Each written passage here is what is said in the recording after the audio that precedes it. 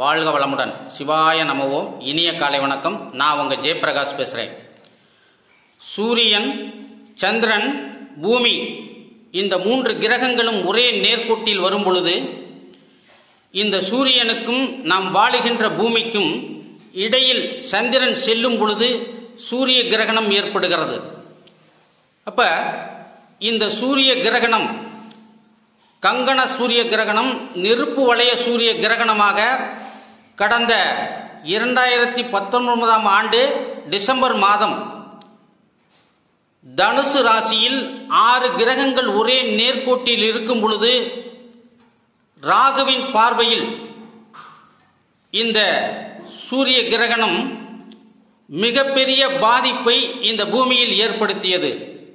அதன் பிறகு இரண்டாயிரத்தி இருபது ஜூன் மாதம் இருபத்தி ஒன்னாம் தேதி ஞாயிற்றுக்கிழமை அதே கங்கண நெருப்பு வளைய சூரிய கிரகணம் நாம் வாழுகின்ற இந்திய நாட்டிலும் நம்மை சுற்றி உள்ள நாடுகளுக்கும் இந்த கிரகணம் ஏற்படுகிறது. அப்ப ஏற்கனவே நாம் இந்த சூரிய கிரகணம் ஏற்பட்டதால மிகப்பெரிய பாதிப்பை இந்த பூமி இன்று பாதிப்பில் இருக்கிறது. அப்ப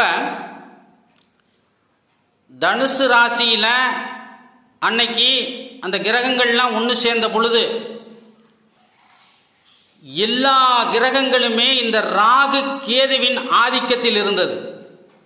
இப்ப இன்னைக்கும் ராகு கேதுவின் பிடியில தான் எல்லா கிரகங்களும் இருக்குது. அதே மாதிரி சுப கிரகங்கள் எல்லாமே வக்ரம் அடைஞ்சிருக்கு செயல் இழந்து இருக்கிறது. இப்படிப்பட்ட சூழ்நிலையில் இப்பொழுது வரக்கூடிய இந்த சிறு சூரிய கிரகணம் நமக்கு நன்மையை செய்யுமா தீமையை செய்யுமா என்பது ஒரு கேள்வியாக இருக்கிறது. பொதுவாகவே சூரியன் என்பவன் நமது ஆன்மா அதாவது உயிர். அப்ப சந்திரன் மனோகாரகன். அப்ப பூமி என்பது நமது உடல்.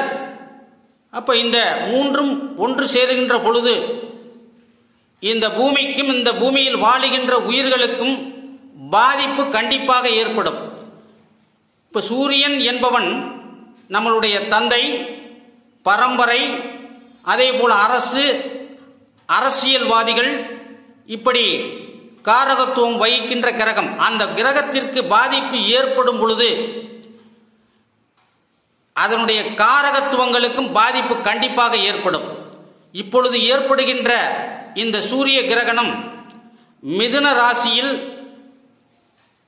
செவ்வாயினுடைய நட்சத்திரமான மிருகசீரிடம் நட்சத்திரத்தில் ஏற்படுகிறது ராகுவினுடைய ஆதிக்கத்தில். அப்ப அங்க நான்கு கிரகங்கள் ஒன்று சேர்கிறது. கேது சம சப்தம பார்வையாக தனுசு ராசியில் இருந்து பார்க்கிறது.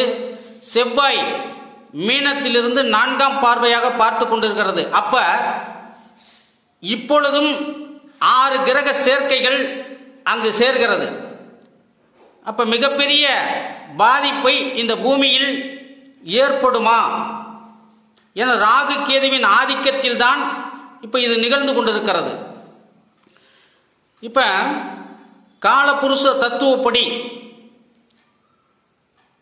இந்த சனி பகவான் மகர ராசியில் இருக்கிறார். சூரியன் மிதுனத்தில் இருக்கிறது. அந்த மிதுனம் புதனுடைய வீடு. அப்ப அங்க புதனும் இருக்கிறார்.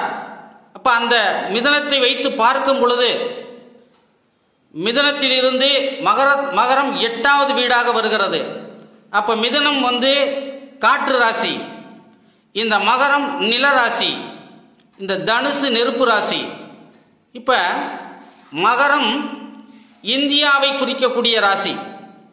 அப்ப இந்த நிலத்திலே எட்டாவது இடமாக நிலத்தில் சனி இருப்பதால் கண்டிப்பாக இந்த பூமிக்கு ஒரு பெரிய பிரச்சனை மறுபடியும் ஏற்படும். பிரளயங்கள் ஏற்படும். அப்படிங்கிறது தெளிவாக தெரிகிறது. இப்போ அதே மாதிரி சூரிய கிரகணம் ஏற்படுவதால் அரசு அரசியல்வாதிகள் அதே மாதிரி உலகத்தில் மிக பிரசித்தி பெற்ற ஒரு தலைவர் பாதிக்கப்படுவார் என்பதையும் காட்டுகிறது. காற்று காற்று ராசியில் இந்த கிரகணம் ஏற்படுகிறது. அப்ப நிலராசியில் இந்த சனி இருக்கிறார். அப்பொழுது பாதிப்புகள் எந்த அளவுக்கு இருக்கும் என்பது நாம் யூகிக்க வேண்டும். பொதுவாகவே இந்த கிரகண காலங்களில் நாம் வீட்டை விட்டு வெளியே வரக்கூடாது. அது ரொம்ப முக்கியம். இப்ப அந்த இருபத்தி ஒன்னாம் தேதி ஞாயிற்றுக்கிழமை காலையில் உலகத்தில் வந்து ஒன்பதே கால் மணியிலிருந்து மூணு மணி வரைக்கும் இந்த சூரிய கிரகணம் இருக்கு. ஆனால் இந்திய நேரம் இந்தியாவில் பொறுத்த வரைக்கும் பத்து இருபத்தி ரெண்டுலேருந்து ரெண்டு மணி வரைக்கும் இந்த சூரிய கிரகணம் முழுமையாக இருக்கு. பத்து இருபத்தி ரெண்டு மணிக்கு சூரியன் அந்த கிரகண காலம் தொடக்கம். அதுக்கப்புறம் பார்த்தீங்க அப்படின்னா பனிரெண்டு மணி அளவில் அது உச்சக்கட்டத்தை அடையும். அதுக்கப்புறம் படிப்படியாக குறைஞ்சி ஒரு மணி ஐம்பது நிமிடத்திற்கு அப்படி முழுவதுமே அந்த கிரகணம் விலகிடுது. அப்போ ரெண்டு மணி வரைக்கும் இருக்கும். அப்போ அந்த இந்த காலகட்டங்களில் வயதானவங்க குழந்தைகள் கர்ப்பிணி பெண்கள் வீட்டை விட்டு வெளியே வராமல் இருப்பது நல்லது. உணவோ தண்ணீரோ எதையுமே நாம் சாப்பிடாம இருக்கிறது மிகவும் நல்லது. ஏன்னா இதெல்லாம் நம்ம கடைபிடிச்சுக்கணும். ஏன்னா நோய் தொற்று ஏற்படுவதற்கு வழி கண்டிப்பாக உண்டு. இப்போ அந்த நேரங்களில் நாம் பூஜை அறையில் விளக்க பொருத்தி வச்சு தவம் பண்ணலாம். அதே மாதிரி மந்திர உச்சாடம் பண்ணலாம். எப்பொழுதுமே இந்த கிரகண காலத்தில் நாம் செய்யக்கூடிய அந்த தவம் தியானம் அதே மாதிரி மந்திர உச்சாரணத்துக்கு பலம் அதிகமாக இருக்கிறது.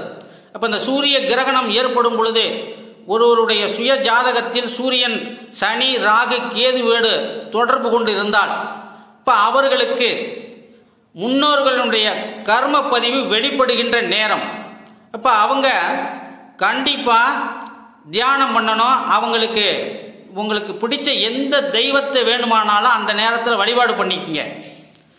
இப்போ இந்த சூரிய கிரகணம் ஏற்படுறதால பாதிக்கக்கூடிய நட்சத்திரக்காரங்க யாருன்னு பார்த்தீங்க அப்படின்னா ரோகிணி மிருகசிரீசம் சித்திரை அவிட்டம். அதே மாதிரி திருவாதிரை சுவாதி சதயம் புனர்பூசம். இப்போ இந்த நட்சத்திரக்காரங்க இந்த சூரிய கிரகணம் முடிந்து பரிகாரம் செய்து கொள்வது நல்லது.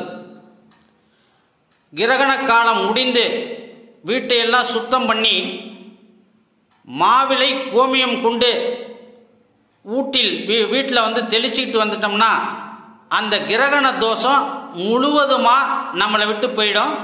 அதுக்கப்புறம் மறுநாள் காலையில் பசுமாட்டுக்கோ இல்லை பறவைகளுக்கோ இல்லை மனிதர்களுக்கோ கோதுமை தானம். கோதுமையால் செய்யப்பட்ட உணவை தானம் பண்ணுங்க. கண்டிப்பாக உங்களுக்கு இந்த பாதிப்பிலிருந்து இந்த நட்சத்திரக்காரங்க முழுவதுமா அந்த தோஷத்திலிருந்து நீங்கிடுவாங்க. அப்ப அந்த மிகப்பெரிய இந்த சூரிய கிரகணம் வர்றனால இன்று நடந்து கொண்டிருக்கின்ற இந்த மனிதர்களை வாட்டி வதைத்து கொண்டிருக்கின்ற இந்த கொரோனா என்னும் வைரஸ் முழுவதும் கரைந்து போகுமா? அப்படின்னு பார்த்தீங்கன்னா விஞ்ஞானிங்க என்ன சொல்றாங்கன்னா இந்த சூரியன் சந்திரன் மறைக்கப்படும் பொழுது இந்த கிரகண காலத்தில் இந்த பூமியில் நிழல் விழும். அப்போ அந்த நிழலினுடைய அந்த கதிர்வீச்சு இந்த வைரஸை அழிக்கும் அப்படின்னு நம்புறாங்க. நாமளும் இந்த பூமிக்கும் எந்த பாதிப்பும் ஏற்படாத இந்த பூமியில் வாழக்கூடிய எந்த உயிருக்கும் தீங்கு நேராமல் இருக்க வேண்டும் அப்படின்னு சொல்லி நாம் வணங்கக்கூடிய இஷ்ட தேவதைகளையும் குல தெய்வத்தையும் அதே மாதிரி பித்திருக்கள் என்று சொல்லக்கூடிய நம் முன்னோர்களையும் வணங்கி இந்த பூமியை பேரழிவு ஏற்படாமல் காக்க வேண்டும் என்று வேண்டிக் கொள்வோம். வாழ்க வளமுடன். எல்லாம் நிறைவாகட்டும். சகல ஐஸ்வர்யங்களுக்கும் உங்களுக்கு கிடைக்கட்டும். என்னுடைய வீடியோ உங்களுக்கு பிடிச்சிருந்ததுன்னா லைக் பண்ணுங்க ஷேர் பண்ணுங்க கமெண்ட் பண்ணுங்க. மறக்காம சிவஸ்ரீ பாலா அப்படிங்கிற என்னுடைய யூடியூப் சேனலை சப்ஸ்கிரைப் பண்ணுங்க. பக்கத்தில் இருக்க பெல் பட்டன் அழுத்துங்க. வாழ்க வளமுடன்.